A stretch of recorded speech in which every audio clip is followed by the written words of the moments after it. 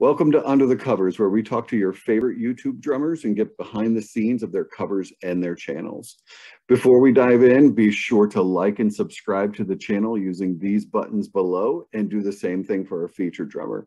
You'll find links for the channels and videos and anything else we discuss in the description. Let's get started.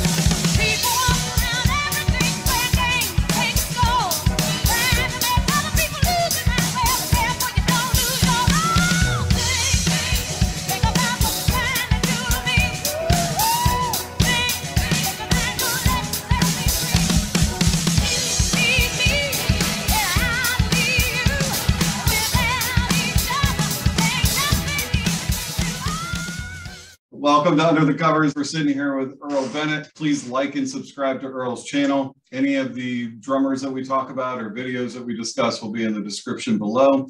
And please like and subscribe.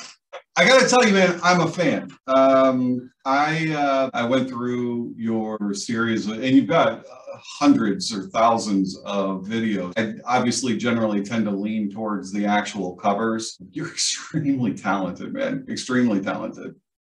Well, thanks for the kind words. I appreciate that. I think that our musical taste, you go back a little further than I do, but when I was growing up, my mother always played her music. So, so I've got a really diverse and really eclectic musical collection. But as I was going through yours, there's some really killer stuff in there. Well, thank you. I, you know, I like playing a lot of the stuff that makes me happy. And I've played a lot of different styles of music. It's not I'm not like a one trick guy. Like I only play jazz rock because I love Chicago so much. It's been a career of playing lots of different gigs, doing lots of different things. I when I was in my teens, I was in rock bands. In my 20s, I did club dates and weddings and to make money and pay the bills for my family. Um, by the end of my 20s, I was in a band trying to make a record in, in Christian music. I did that and not much success, but I got the experience of playing in a Nashville studio and getting replaced by a Nashville drummer. Uh, that was kind of interesting, you know. And then it became my lifelong thing to have my own recording studio and record music. So that's been my journey pretty much. And for the last 20 plus years, I've had a recording studio.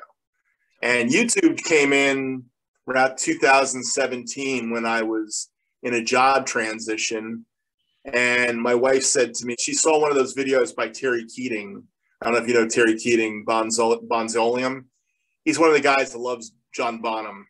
Um, and Terry Keating used to do lots of cymbal videos. And I was watching him about Paiste cymbals. I bought a Paiste 505 Crash. And she heard me listening to him just rant on about Paiste cymbals. And she, she said to me, she goes, you know, you could do that.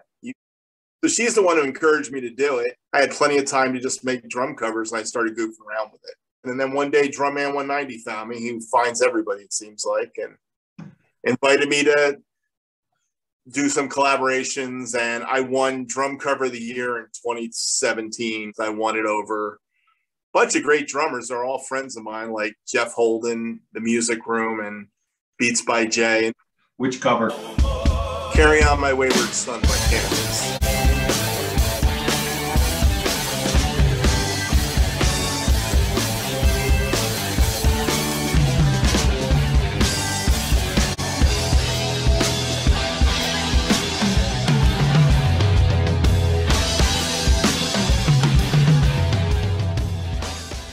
Kansas. tell me about you, you know, where you're from. I'm from New Jersey. I live in South Florida. I moved here about 20 years ago. you know, study music in college. Got a BA from Jersey City State College, which is now New Jersey City University. I got married at 22 um, to my beautiful wife of 38 years right now. We're more in love today than ever. We have three kids and I have 10 grandkids. And all of a sudden I was in this got to make earn money, got to make money. Gigging became a way to make money. So I started playing a lot of weddings. Then my wife was a singer in our church and she, she wanted to get in the act. So I always kid her. I go, Lucy wanted to be in the show. So I built a band around my wife and we had some really fun times in the 80s doing that. And somewhere in the middle of that, my wife also started writing for Modern Drummer magazine. She's a, a writer, an author. She's actually published five books, but she was writing for newspapers and Modern Drummer magazine back in the 80s and the 90s. I got to meet some of my heroes because she got to interview some of my heroes. So that was kind of fun. Drumming has been just something I've always done, but it couldn't didn't pay the bills. So I worked in the cable industry for about 35 years, but the music never stopped. I always had gigs, always playing weddings, always doing clubs with somebody. When I moved to Florida, um, my goal was to do my wife's album. That's why I started a a studio. And her album's available on my YouTube channel. If you go there, you'll see Stephanie Bennett uh, toward the lamb. I'm going to start with the studio because that was for a long time a dream of mine was to have my own. And the amount of money you have to throw into that is crazy. Is your studio like a, a working studio or is it just yours? It has been a working studio over the years, but I realized I couldn't make any money in the digital age. But for me, running a commercial studio didn't make any sense because I couldn't make any money at it. I've done some interesting projects. I've done like three bluegrass albums. So I've, you know, and I, and I would make money for these projects. The, those are the those are the ones that would buy my next computer, you know, or buy me a snare drum or buy me some preamps for my studio. The audio engineering side, I realized if I wanted to play on other people's records, I needed to learn how to do that. Yeah.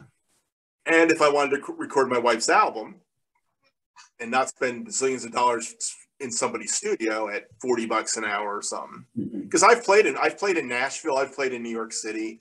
I've been mm-hmm. in real with Neve consoles and that kind of stuff, you know. And then you're spending dollars. I, I couldn't afford that. I've been in the local little guy studio in towns. And I decided I would be a local little guy. And it just was right at the cusp of the end of the ADAT era into the computer era when I started. I, so I had 16 tracks of ADATs which was really harsh sounding and really didn't sound good unless you had a lot of outboard gear. And then the Macintosh computer changed everything for me. That's how I was able to sound. And then having a couple friends that were audio engineers taught me how to mix and what what to do to get the sound, how to mess with it. And I, I think any DAW you can get a decent drum sound in. Is your space like attached to your house? I've got a detached garage. Uh-huh. We bought us with the intention of putting the studio in the car, three car garage. So how many how many rooms and I guess more because I'm interested, how many drum sets do you actually have set up like right now? Right now I have two drum kits. This is my main room. Right out there is the computer probably. You can see that. And then as you go around, you'll see other stuff through the room. You can see the the concert tom kit I have uh-huh. set up. Tell me about the concert kit first. The concert tom kit is an old Pearl from the 70s fiberglass kit. I bought the kit from a guy that made custom drums, and he actually has built me two custom snare drums. His name was Dan Ritelli, DMR Custom Drums. And then I got them home, and they were all ripped up. The covering was all ripped up. And Pearl didn't really spend a lot of time gluing things down really strongly. So the covers just ripped off. So I left them fiberglass. And then I realized that's what Hal Blaine did, the famous studio drummer from the 60s. Mm-hmm. He had a whole kit of concert toms with Blame air shells that were just fiberglass. And I thought it looked kind of cool, so I kind of kept them that way. I, I, noticed on your videos when I was watching, there's no resonant heads. That's the way they came. That that was the sound of the 70s. Mm-hmm. Started to see it in the 60s. They started taking the bottom heads off of drum kits. Like um, Ringo's kit in the latest Beatle thing the floor tom doesn't have a bottom head. The two top toms, you know, 12 and 13 have bottom heads. Uh, the guy for the doors, John Densmore, he had a, a, kit with a 12 and a 14 by 14 floor tom, and they had no bottom heads, no front head. So it was becoming the thing to do was to take the bottom heads off. And this guy, Hal Blaine, who was the studio drummer of the, the Wrecking Crew, the famous Wrecking Crew, who played on the Beach Boys and the Carpenters and the Association and the Captain and Tennille. And he was the guy that made these things famous because he put a whole kit of drums together with his technician. His drum, he was the first guy to have a drum. And he basically set up seven concert toms. And then Ludwig stole the design and started making them. And then Ludwig had a kit, Pearl had a kit, Slingerland had a kit, and it was by design, no bottom heads. So when you are doing drum covers, do you is there a specific era or type of music or whatever that you go to that kit for? Definitely. I use it for a lot of 60s music, some of the 70s music, and early 80s music. You know, like if I was going to try a Rush cover, I would definitely have some of those drums on the kit. So tell me about the Gretsch kit. The Gretsch kit is a 1979 uh, Gretsch kit I bought in college. Um, I sold my blue Vistalite. I had one of those. My first drum kit was a Ludwig blue Vistalite kit, and they were great for disco and that rock look thing. But when I went to college to study music, everybody was playing jazz, and it really was kind of not really hip. It was kind of very unhip.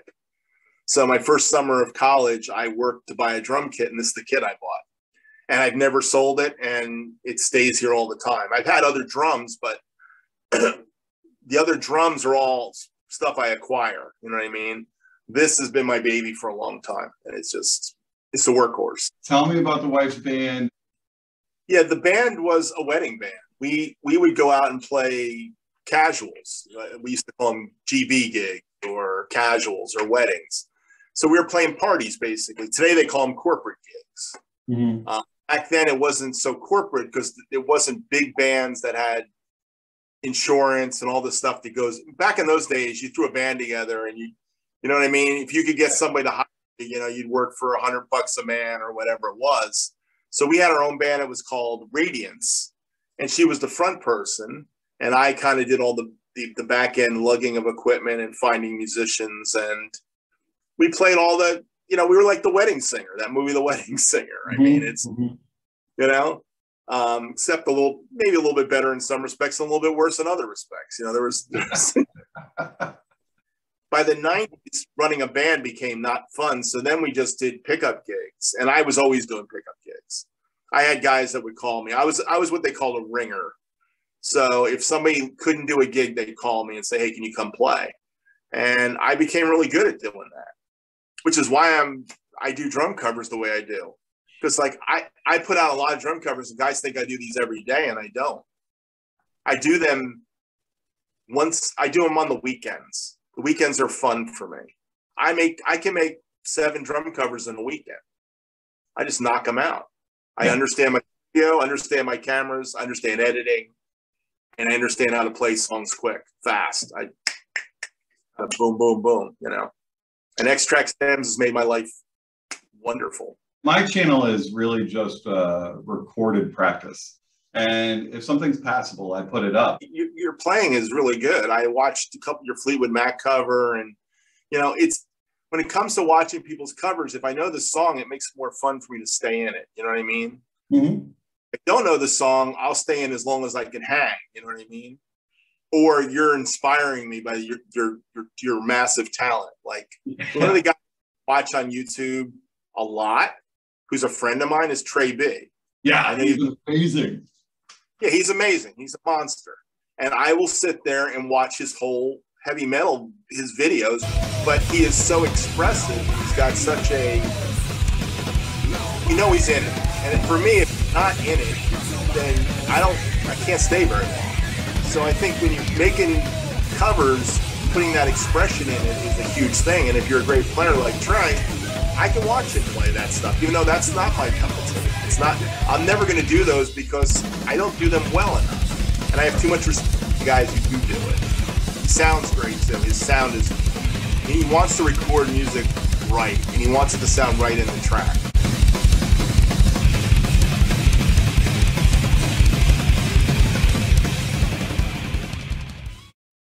I'm kind of a snare drum nerd. Really? Like, Oh yeah, I, I, I have about eleven snare drums. Actually, I got a new one coming. So I'm buying a black. I got a Black Beauty six and a half by fourteen coming, Ludwig. Really? But I have a one that I use on everything that's sitting right here. And I've got a Noble Cooley five inch, and I've got a these couple DMR custom snare drums built for me. One's cast aluminum, the other one's um, a solid shell, walnut shell. It looks like a Radio King. And then I've got about five or six other snares that just get thrown in once in a while, like an Acrolite or a Gretsch five inch chrome over brass or a Steve Jordan or Omar Hakim. What I try to do for my videos is I try to switch my kits up all the time. Like certain days, I stay on one kit for a couple days. You know what I mean? But if you were to go through my videos, you would see that that concert tom kit goes from four toms around to six to now seven. Now I have eight of them, so I can do the whole eight kit, eight, eight now. And one day you'll see that. The Gretsch kit will go with a four piece. Maybe it'll be a rack and two floor toms, or two racks and a floor tom. Or I'll put up.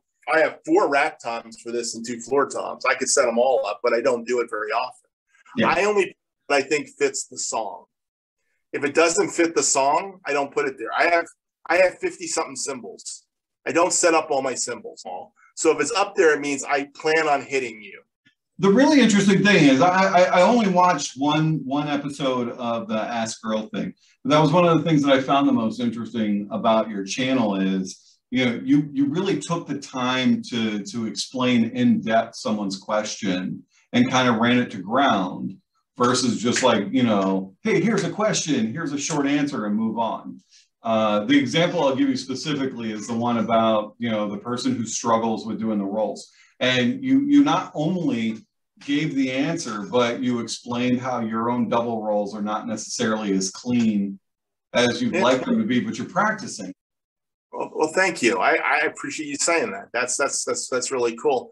I try to treat everybody's question, no matter how silly it may even seem to me, and show them the respect they they had the respect to ask the they had the nerve to ask it, and I'm going to try to answer it. There's two sides to everything. Yeah. And you've got to basically tell them how to get to the middle of it to figure it out. Because I could tell you how to play a, a, roll and say your hands have to be, you know, Moeller grip and blah, blah, blah. And I can go down that route and say that to you, but I don't really practice that.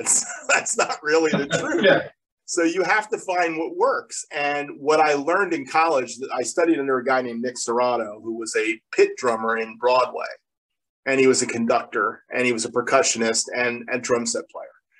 And Nick was about music and he taught me music. And he said, in teaching me music, he taught me life. He said, This is not just about the music you're going to play with this, it's about learning how to play with others in life because that's what a band is. It's playing with others in life. Mm-hmm. You know what I mean? I don't know if you how many bands you've been in, but every band I've been in, it's got their little quirks to it.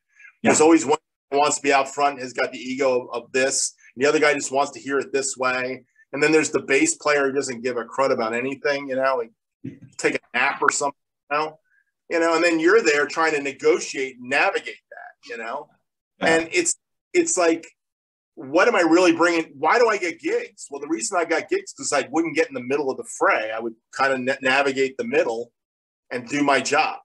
Yeah. That's what my YouTube channel is about. Is just me sharing who I am with people and helping to inspire them to be good drummers. Um, do you have uh, any songs you absolutely can't stand playing as a result of being in bands?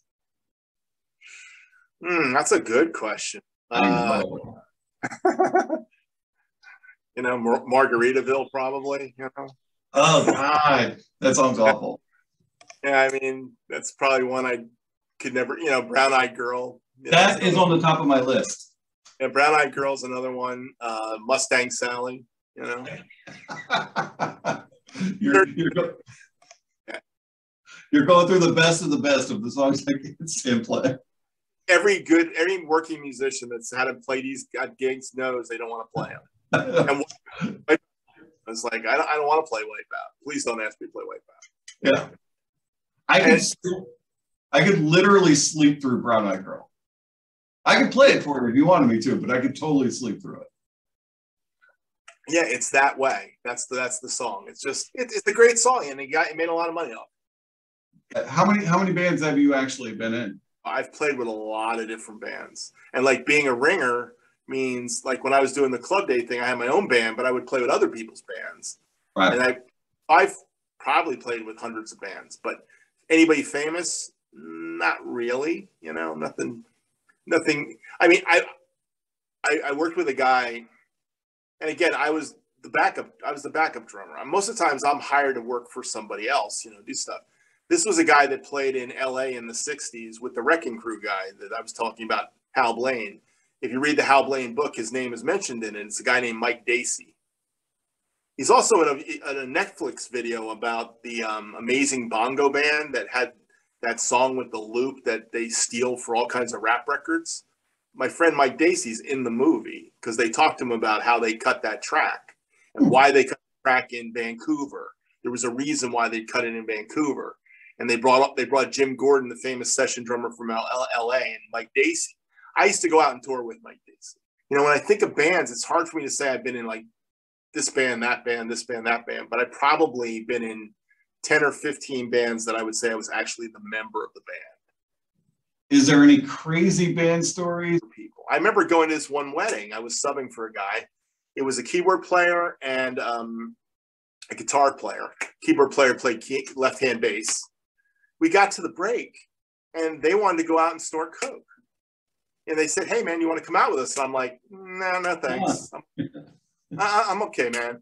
They went out, they got lost, and the break was over and the maitre d's looking for the band and i'm sitting in my drum chair you know getting ready to play i'm ready to play. They're nowhere to come they go where are the other two guys? I said i don't know. I don't know where they're at. So burnt it wasn't even funny. I did my first country my very first country I, I get a phone call from this guy at the music store he calls me up and says listen i can't do the gig tonight it's two hours before he says can you go down and play my gig it pays 40 bucks I said, okay, it's in town. You know, it was like 10 minutes from my house. While I'm setting up, the guy who's running the band says, hey, do you want a beer? Now, I've never been a big beer drinker ever in my life, but to be polite, I said, sure. Got me one beer. As the night went on, the lights went from bright to the last set, we were in the dark. And I remember dropping my stick and I had to pick my stick up and I had to turn the light on, which was behind me. And I turned the light on and he freaked out on me, like, turn that light off because he was so wasted. He was out there, bonzo wasted. We get to the end of the night and he I get ready to get paid. I see he hands me the money, he gives me 35 bucks. I said, What's this? He goes, You had two beers. I said, I had one beer. Charge me five bucks for one beer. He goes, You had two beers, man. I, I'm, I'm trying. All right. Okay. He goes, Hey, hey man, you sounded great. Do you want to come back tomorrow? I said, No what do you want people who view your videos to see your channel as? I want people to see that I'm having fun, number one. And I want people to see me as a resource if they have a question or something they want to something they want to know about the business or music. Because I, I feel like I'm not done sharing that with people. I think the problem with young people is they're not as inquisitive about that today. Mm-hmm. Because the world is very small we now look at the world as views, endorsements, being an influencer, and that's like a job now. But I didn't do that for I got into music to play music with musicians and make good music that I love making, love making. And I love the creative process of being a musician. I'm an artist. Life is going to change a little bit this year. I'm, I'm going to try to pare things back, you know, um, a little bit, not post every day and I already I already cut back on my live stream. I, my live stream was really starting to take off in August, and I was feel, realizing I had this pressure now to do a live stream at nine o'clock in the morning on a Saturday. It's like, why did I put that on me? I just I don't need that pressure. There's more to life than that, you know. But I do want to do live streams. I do want to meet with other drummers, and I want to promote other drummers too. So maybe if I do a live stream, I'll bring you on. That'd be fun. I'd be happy to join. And I promise to be on my best behavior and not call you Eric. That's good. Please. you know, the, the funny thing is it, it came up with Barry and it came up with Dan before that. Is Dan said that he found this, he didn't know where it was coming from, this pressure to put out videos like once a week. he's like, why? Like, I'm not monetizing it. Like, I don't, no, nobody's making me do this. It's not my job. But like, this this you know feeling that you have to put it out. And then Barry and I were talking about you know this is this is what I do for fun. And then I have so many other hobbies that this is just one more thing that I'm throwing in, and the mixing is another one. So for me, this is an outlet. This is my outlet of expression of music. You know, Mhm. Other than church or working on and and working on somebody's. I played on some albums this year, some people's projects, things that got released on Spotify in the last month. I'm on a couple guys' stuff.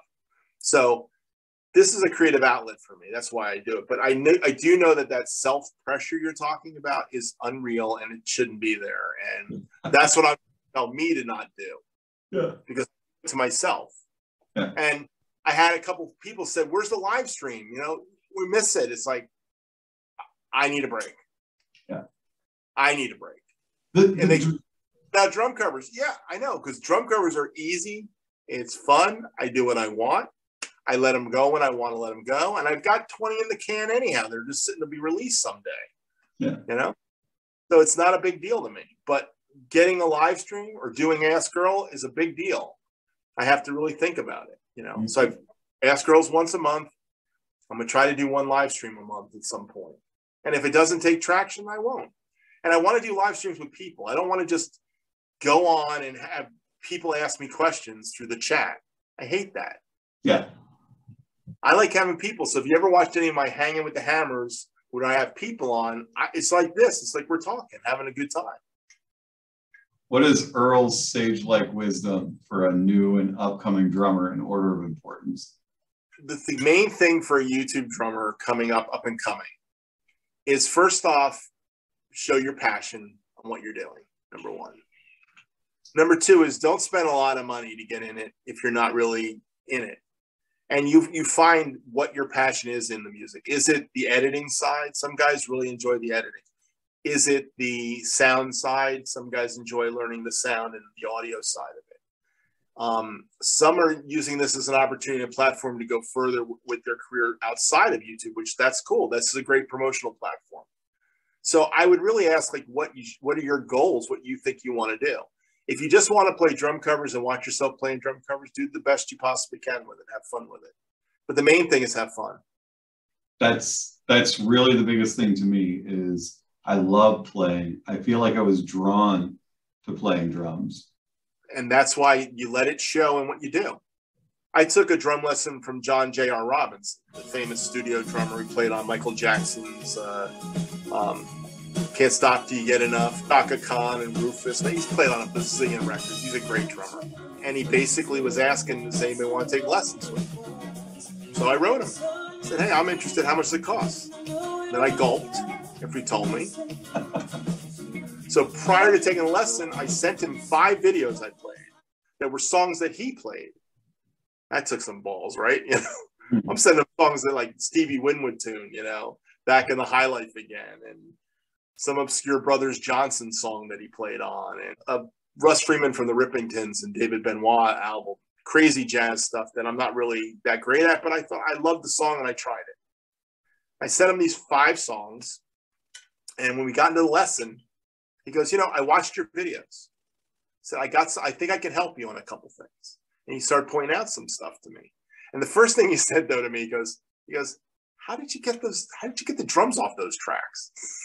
And I said to him, I said, well, I have this program called Extract Stems. It's like you know, you just download it, and you, he goes, what would it cost me to get you to do some of my my famous songs like Lionel Richie's All Night Long and you know, can can you take the drums off them and, and put a click on it for me? I said, yeah, I think I could do that.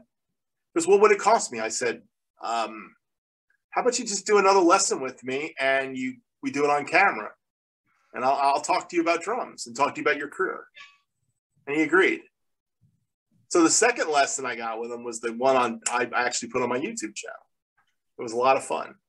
That's Yeah. cool. Tell me uh, some of your favorite YouTube drummers. like I know Ash, like Drumman 190 definitely brought me into the community five years ago. Drumman t- goes out of his way to, to meet a lot of drummers. He's been, and drum covers by Bill, those two guys. But the guys that I grew up in the, the community with were guys like Beats by Jay, uh, Little Drummer Channel, Jeff Holden, who now has become the Music Room. Those are friends. They're, they're friends, longtime friends on YouTube. And some of the newer guys, I, I like this kid, Tate Berkey, who plays Chicago covers and Steely Dan. He's a great musician. He's gonna be he's gonna be a great musician. If he sticks it out makes a career of it, I think he will be 20 years from now one of those guys because he's he's got the ability. But I, I, have so many friends, like Rich Raw Dawg's been a friend for years, you know, I'm friends with him. Um, Eric from the Drum Attic, friend of mine, you know. Um, I just talked to Eric today on the phone. Um, you know, so there, there's guys like that that I really enjoy. And I, I, I always enjoy finding new guys, you know, the guys that are players. I love watching guys that are players that really like Trey B Um, look, man, I had an absolute blast. I, I bet you I could probably do a part two, and I may actually circle back for a part two because there, there's, there's seriously, there's, there's another 12, 15 questions I could have asked or threads we could have went down that I would have thoroughly enjoyed having. Um, so, so. And so you, you made it easy and hopefully you got to know me a little bit and I appreciate you taking the time to do that. You got a little bit of my background and what I do, and so I had fun. There's so much I missed though. But either way, um, I appreciate everyone watching under the covers. Uh, again, you'll find videos and links to everything we discussed. Um, and and it was really great having you all. Thanks. Thanks for having me, Chris. Appreciate it.